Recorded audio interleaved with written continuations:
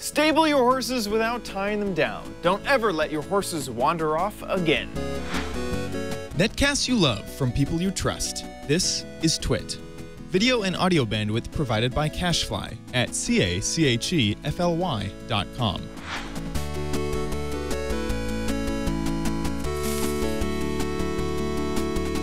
Hello and welcome to OMG Craft. I'm your host, Chad Johnson.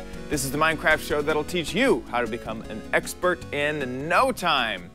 You know, horses really are the best way to travel in the game. They move fast, hills are not an issue, and you don't need to lay down infrastructure like rails or redstone to travel from place to place.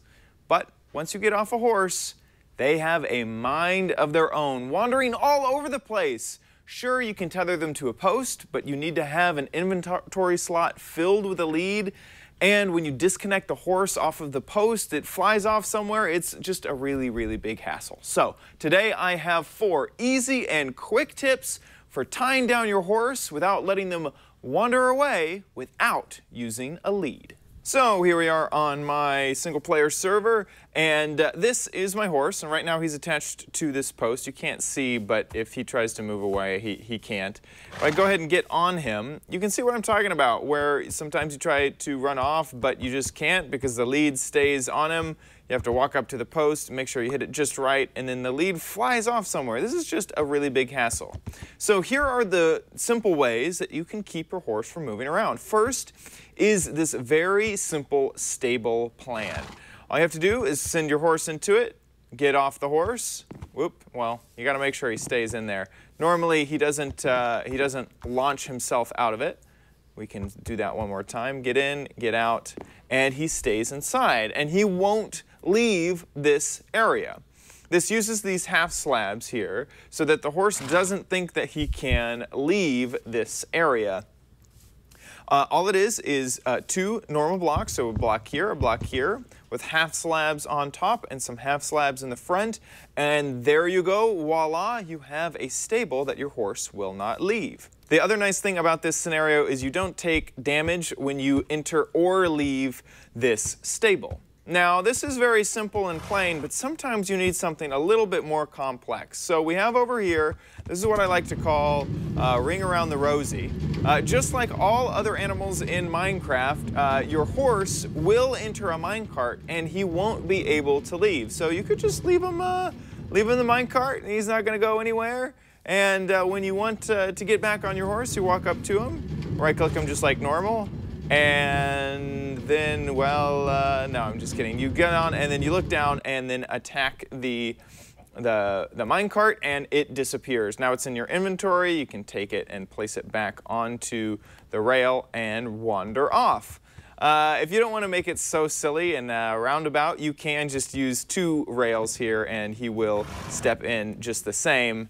Uh, but it's just not nearly as cool as uh, the, the cool roundabout way to do it.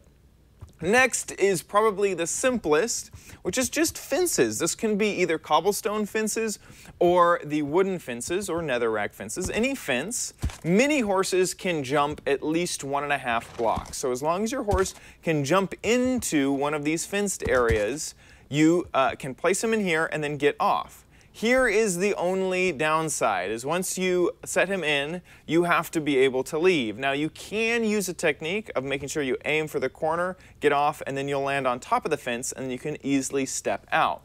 When you want to get back on your horse, just reach in over the fence and you'll automatically be launched on top of your horse. So a nice, easy, and inexpensive way, especially if you are early on in the game.